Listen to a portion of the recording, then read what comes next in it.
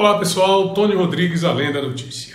No vídeo de hoje eu gostaria de falar sobre as informações que circularam no final de semana do Carnaval e nesse final de semana circularam informações de que o jornalista Arimatea Azevedo teria morrido.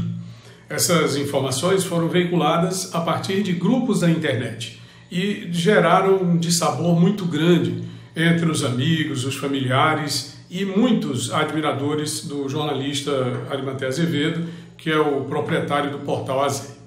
Mas vamos falar também sobre perseguições à imprensa, que sempre acontecem no estado do Piauí, quando alguns profissionais se insurgem contra o estado de calamidade em que a situação político-administrativa se encontra. Eu peço que você deixe seu gostei, se inscreva no nosso canal e ative as notificações do sino. Vamos ao vídeo de hoje. No final de semana, circularam informações de que o jornalista Arimatea Azevedo tinha falecido. Essas informações elas foram veiculadas através dos grupos de WhatsApp e, e traziam, inclusive, uma nota do próprio Portal AZ, como se fosse uma nota do Portal AZ, uma simulação de nota do Portal AZ. É o que se pode chamar de fake news, de péssimo gosto, no que existe de pior no tocante à degradação da espécie humana. Por quê? Porque as pessoas não conseguindo vencer o outro através das armas, da legalidade, do bom senso, da disputa correta, e, e nisso não existe absolutamente nenhuma correção. No âmbito da corrupção, nós não temos correção nenhuma. É, o que menos se tem é correção. Mas mesmo assim, o jornalista ele só tem como arma a sua caneta a sua capacidade de veiculação. Enquanto que os seus detratores, eles possuem muito mais. Eles se unem em consórcios criminosos que juntam elementos das mais variadas vertentes de criminalidade, tudo para atacar. Então, uh, há muito tempo que a gente observa esse modelo aqui no estado do Piauí, contra jornalistas, e jornalistas que denunciam, jornalistas que criticam. O Arimatea Azevedo, por exemplo, ele já foi vítima em várias oportunidades.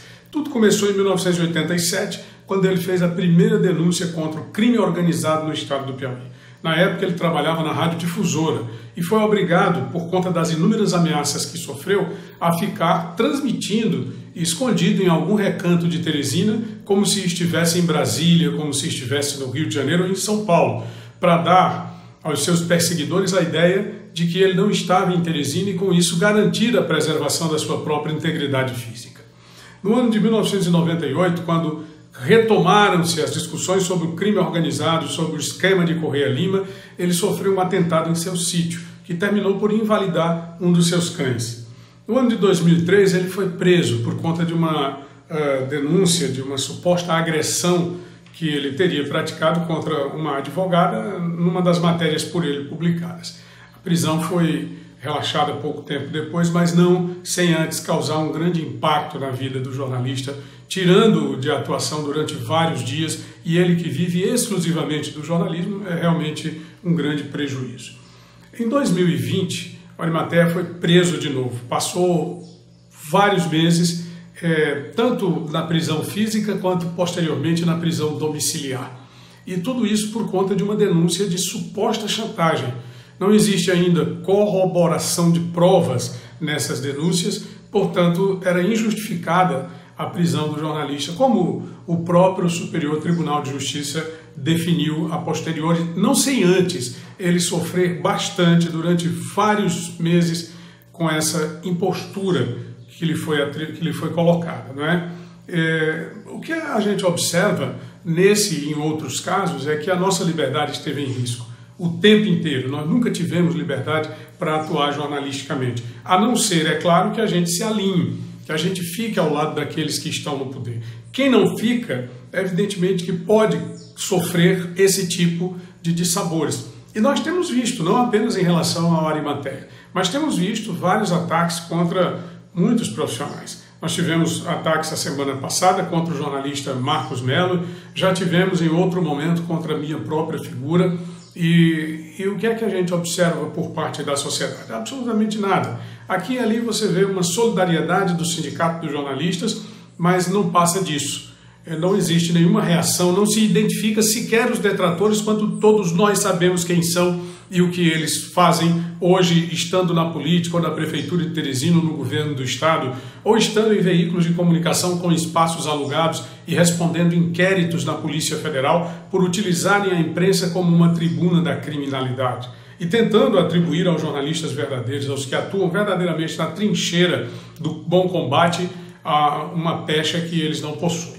Nós não podemos esquecer que o jornalista está com o seu site, o Portal AZ, há quase um mês fora do ar e não existe nenhuma providência por parte das nossas autoridades. Ora, as autoridades são muito eficazes, são muito ágeis quando é para prender jornalista, quando é para processar jornalista. Mas elas, por outro lado, são extremamente lenientes, letárgicas, quando é para punir aqueles que agridem o nosso direito de sermos bem informados e o direito que o jornalista tem de informar a sociedade. E se não houver uma reação da própria sociedade, né, valorizando esses profissionais, dando a eles o valor que eles têm, elementos como esses, que continuam no poder, valorizados extremamente pelos seus eleitores, pelas instituições, protegidos, acobertados pelo manto da impunidade, as agressões deverão persistir. E a simples divulgação da morte de um jornalista pode ser a preparação. E aqui eu estou fazendo uma denúncia para que isso venha a ser consolidado. Aconteceu no ano de 1976 com o ex-presidente Juscelino Kubitschek, quando várias vezes foi divulgado que ele teria morrido num acidente de carro na Via Dutra. E aquilo tudo não passava de um balão de ensaio. Eram os seus assassinos testando a repercussão daquilo junto à opinião pública para saber se de fato as pessoas sentiriam falta em caso de, de um eventual assassinato, de uma eventual morte do JK. Não apenas a falta, mas se as pessoas reagiriam àquele lamentável episódio.